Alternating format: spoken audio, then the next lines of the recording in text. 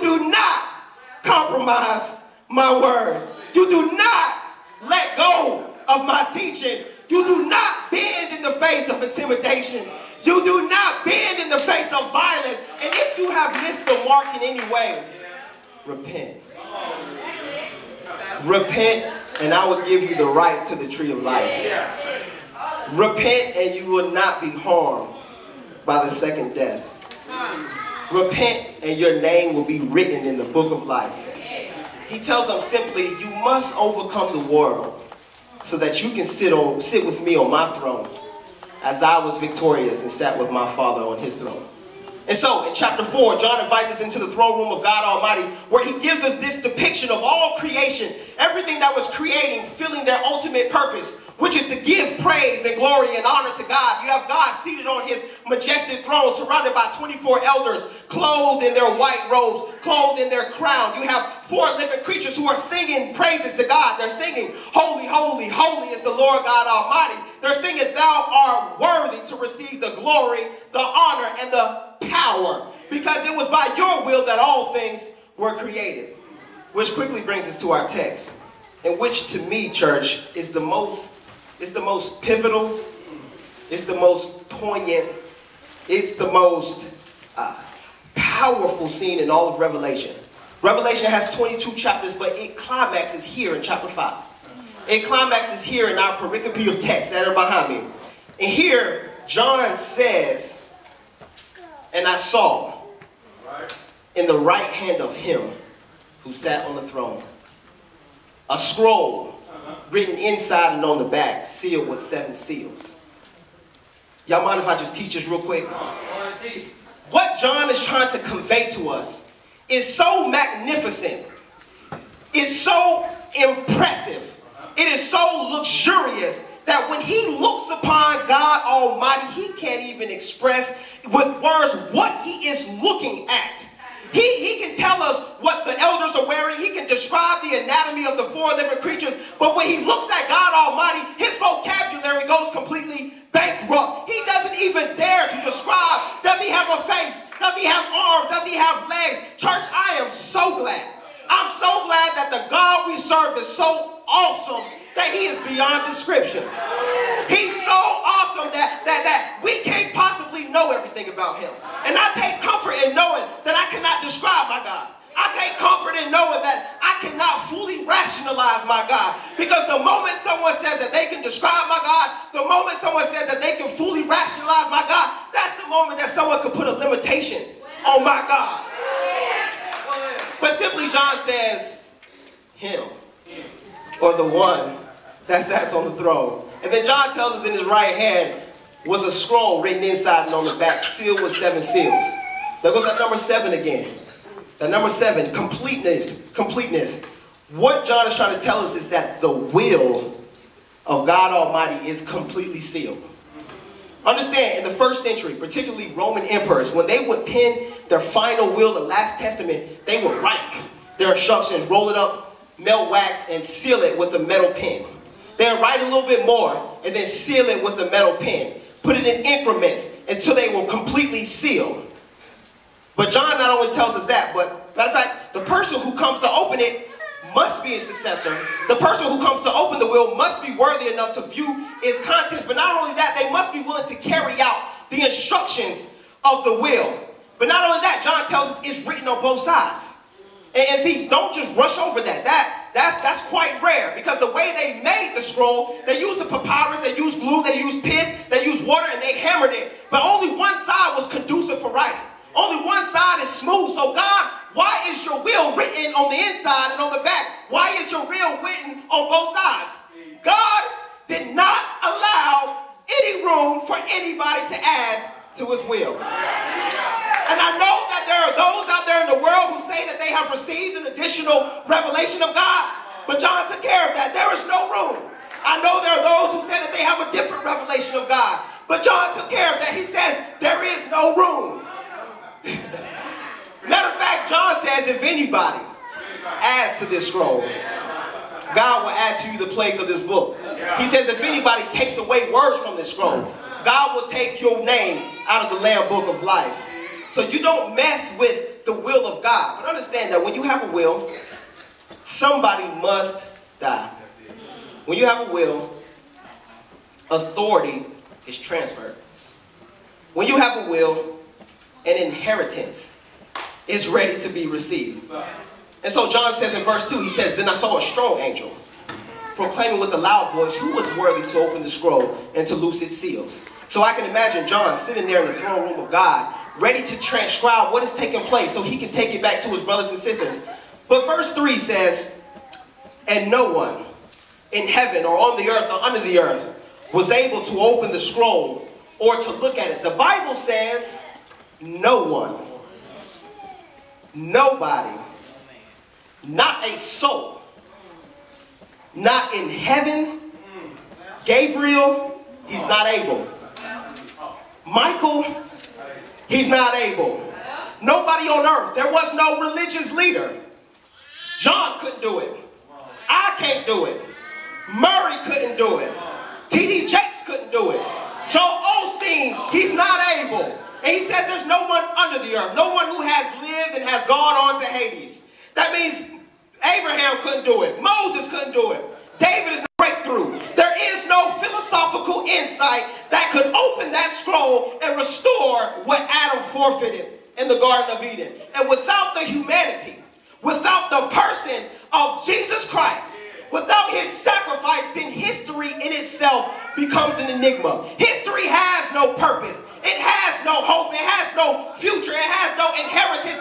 Ask the leper who was able.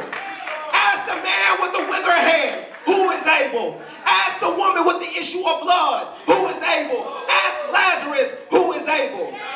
And so, in response to that, check, check John out. John says, So I wept much, because no one was found worthy to open and read the scroll or to look at it.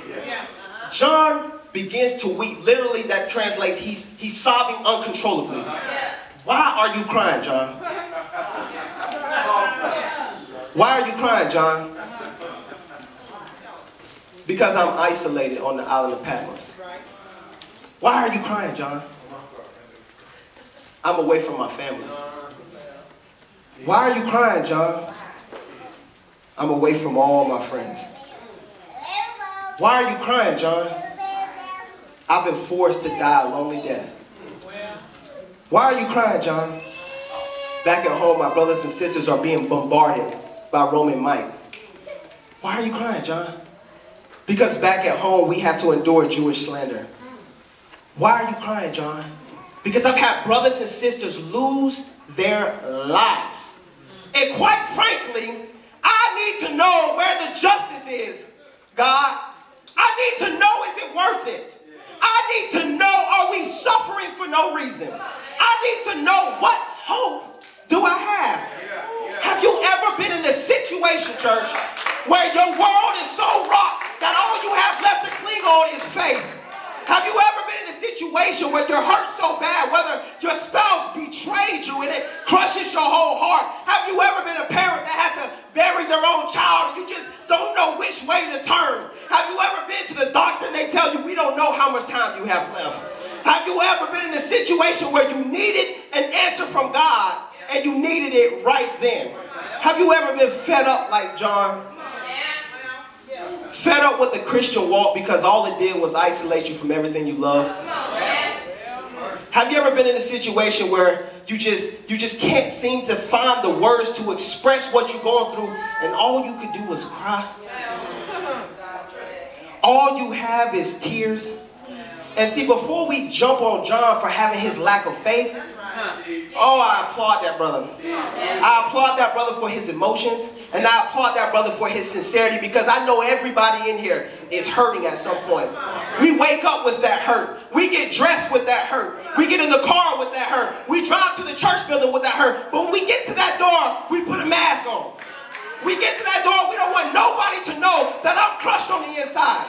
We get to that door, we don't want to let nobody know that I'm doubting right now. We get to that door, we don't want anybody to know that I'm hurt and I need some help. I need to cry, I need a hug, I need some love, I am struggling. So I applaud that brother. But you see, the beautiful thing about this is what takes place in verse 5. And, and John says, But one of the elders said to me, Do not weep. Behold, the lion of the tribe of Judah, the root of David, has prevailed. To open the scroll and to loose its seven seals. This elder, or older one, speaks up. He sees John crying and says, Hush up. Do not cry. Look. Matter of fact, he says, Behold. You study that, it means to cast your gaze upon and don't look elsewhere, but focus. To look. Behold, the lion of the tribe of Judah. The root of David has prevailed. He has triumphed. He has conquered. You see, John, all he knows is the misery of what he's going through. He knows the misery of being on earth. He is earthly minded. He is so consumed with his situation that he cannot see clearly. While this elder has his robe, he has his crown, he has already overcome the world, so he's speaking from a perspective of heaven. He's heavenly minded. And I want this verse to hit at the heart of every single mature Christian in here. I want this verse to hit at every single seasoned saint in here. Because you have lived, you have struggled, you have had to deal with all the heartbreak and the hurt, and you made it through.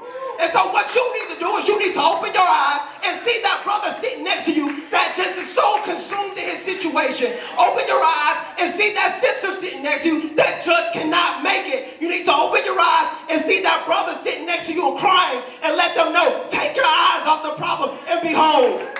Behold Jesus and let them know that we have a God and we serve a God that is mighty like a lion. We serve a God that is fierce as King David. Matter of fact, it says he's the root of David or means the source of David's power and let them know that there is no obstacle. There is nothing that you can go through that is too big for Jesus Christ. And so verse 6 this, this got to be my favorite one. Because John says, And I looked, and behold, in the midst of the throne, and of the four living creatures, in the midst of the elders, stood a lamb, as though it had been slain. Stood a lamb, as though it had been slain. Now, John is turning he's expecting to see a fierce lion. He's expecting to see a mighty warrior. But instead, he turns and sees a lamb. But not just a lamb, a lamb looking as if it's been slaughtered or slain.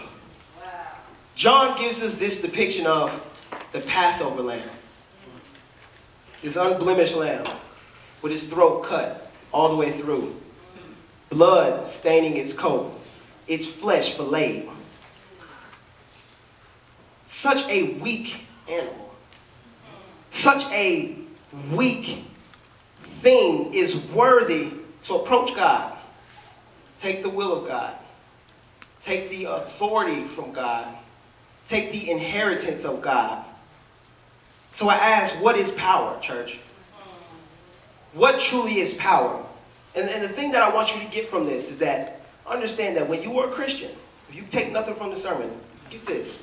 If you are a Christian, it means two simple things. That when you live in this world and when you have to walk the steps that Jesus walked, number one, you're going to be vulnerable. You're simply going to be vulnerable. Number two, you're going to have to undoubtedly, inevitably make some sort of sacrifice.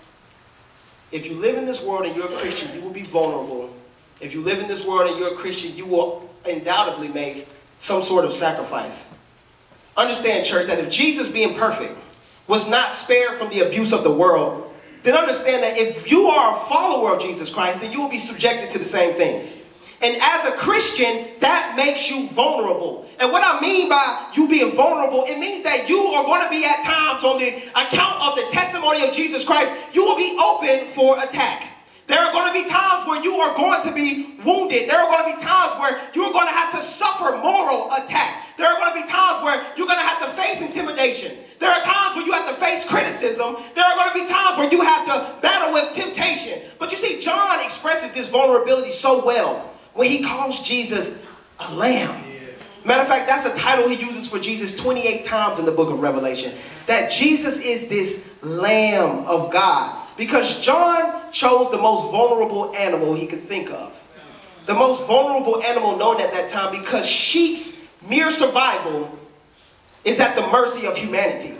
Sheep depend on humanity for food, for water, for protection. But John actually takes it a step further. When you look at his word for lamb there, it literally translates a little lamb or, or, or a baby lamb. And he's saying that Jesus Christ is the lamb who is at the mercy of humanity. Jesus Christ was vulnerable. Jesus Christ was wounded. Jesus Christ was attacked. He was criticized. He was tempted. And ultimately, Jesus Christ gave himself to for sacrifice. But check this. The whole time, he did not retaliate. The whole time, he did not meet force with force. Matter of fact, my brother read last week, it says that he was oppressed and he was afflicted, yet he opened not his mouth. And he was led as a lamb to the slaughter, and as sheep before his shearers are silent, yet he opened not his mouth.